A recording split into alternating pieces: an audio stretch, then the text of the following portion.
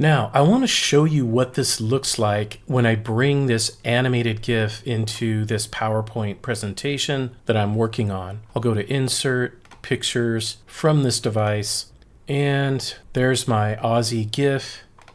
I'll go ahead and insert that. And as you can see, it's kind of cool, but this would actually look a lot better if it didn't have a background. So what I'm gonna do is take you over to a site called unscreen.com. You'll find a link in the description below. Once here, all you have to do is upload your clip and let the magic happen.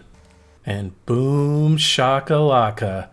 Just like that, the background is cleanly removed and it's still an animated GIF. All right, then all I have to do is come over here to download. Notice I have options, GIF, animated PNG, and single frames. I just want GIF for now. All right, and it is in my downloads folder. So I'll go back to my presentation. I'll insert the picture from this device again. I'll go to my downloads folder, and there it is.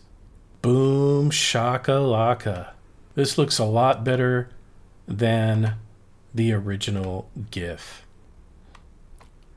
All right, and that's all there is to it, folks. Have a good time with Unscreen and let me know your thoughts on how you might use it.